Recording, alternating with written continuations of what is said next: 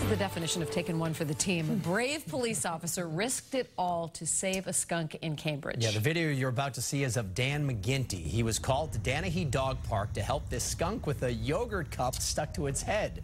You can see the officer's a little hesitant about pulling the cup off. After a few tries, he gets it away from the skunk. But you know what oh. they say, no good deed goes unpunished. Officer McGinty was sprayed. Good job, officer, but now he has to take one of those like tomato, tomato baths, right?